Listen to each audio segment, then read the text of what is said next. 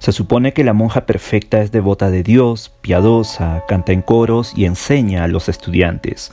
Luego están los otros tipos de monjas, la antítesis de lo que deberían ser las monjas, las que se han popularizado en el género de terror, son malvados, poseídos y demoníacos, aterrorizando a cualquiera que los encuentre.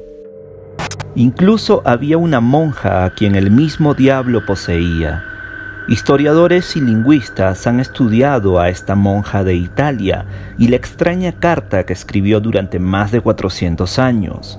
En el 2017, finalmente supimos lo que escribió María Crucifisa y es aterrador.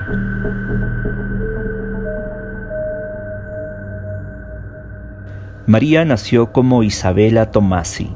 Nació en algún lugar de Italia en 1645 era hija del príncipe Guilio Tomasi di Lampedusa. La familia Tomasi fueron los antepasados del autor Giuseppe Tomasi di Lampedusa, conocido por su libro El Leopardo. Cuando Isabela tenía 15 años se hizo monja, una hermana en el convento de la bendición en Palme di Mantechiaro en Sicilia, Italia. Isabel Tomasi fue entonces bautizada y rebautizada como María Crucifisa de la Concione. Era y sigue siendo una práctica para muchas monjas recién bautizadas elegir o recibir un nombre religioso.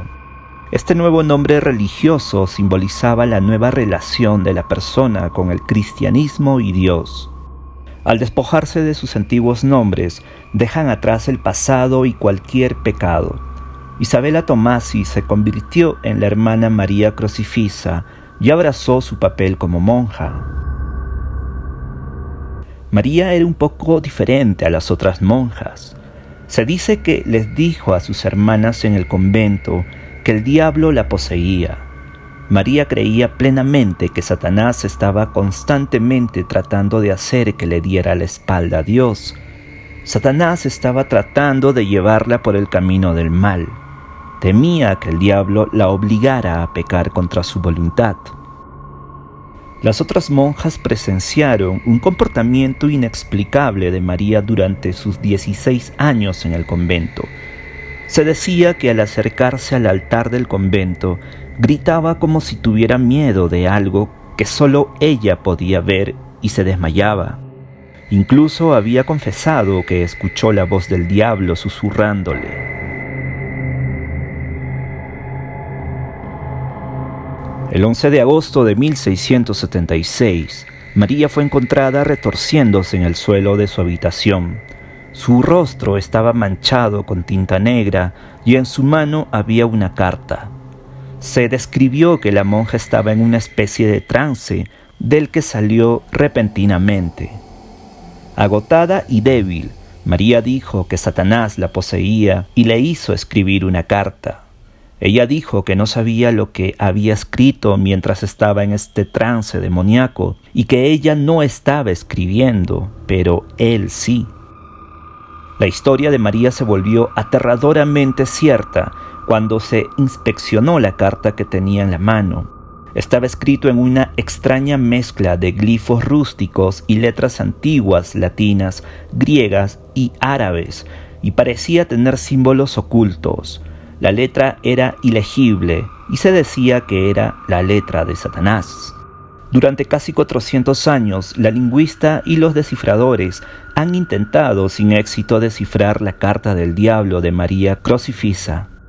En el 2017 se produjo el primer gran avance en la traducción de la carta gracias en parte a la Dark Web, que de alguna manera hizo lo que nadie más pudo y descifró su código. Un equipo de investigadores y científicos se enteró de un software que según se rumoreaba era utilizado por los servicios de inteligencia para descifrar códigos. Para saber lo que decía la carta necesitaban encontrar el software y la web oscura fue a donde fueron.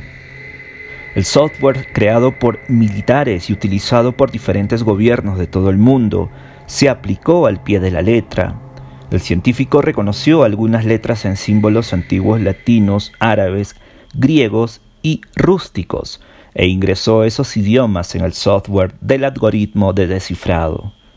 Todo lo que quedaba era esperar y esperar que el software pudiera descifrar la carta del diablo. Sorprendentemente funcionó. El algoritmo de descifrado fue, por fin, capaz de traducir la carta demoníaca de María después de casi 400 años. Bueno, el software tradujo la mayor parte de la carta. Solo se tradujo el 70% de toda la carta del diablo. El mensaje era claramente de naturaleza demoníaca, pero también, lamentablemente, no tenía ningún sentido.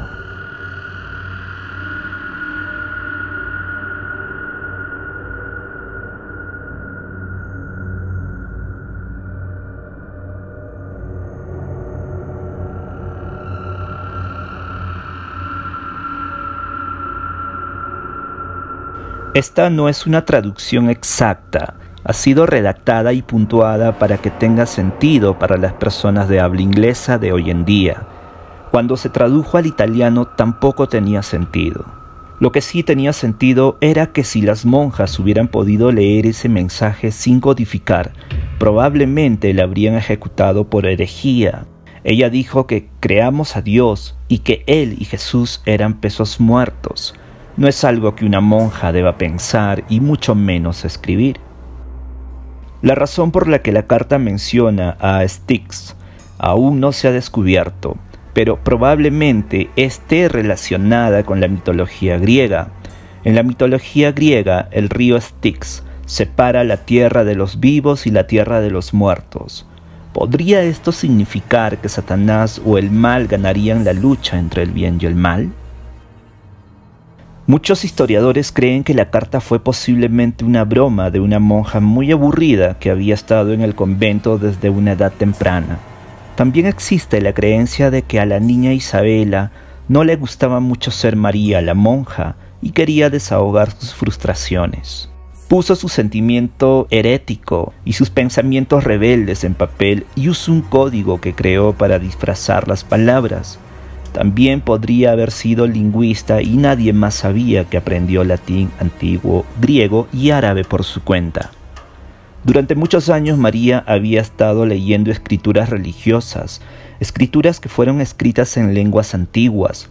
Es posible que le haya permitido crear su propio código secreto. Otros historiadores y religiosos creen que la carta es la letra del diablo. También podría haber una explicación más psicológica. María Crucifisa posiblemente podría haber tenido esquizofrenia. Las alucinaciones religiosas son el tipo más común de alucinaciones. Se pueden experimentar alucinaciones auditivas. Todos tenemos nuestros demonios. Quizás a algunos les guste escribir cartas extrañas, crípticas e incomprensibles. O quizás María Crucifisa sabía algo que nosotros ignoramos.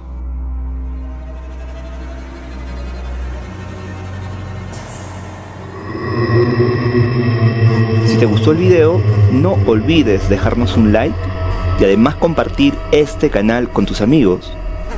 Gracias y nos vemos en un próximo video aquí, en la hora muerta empieza.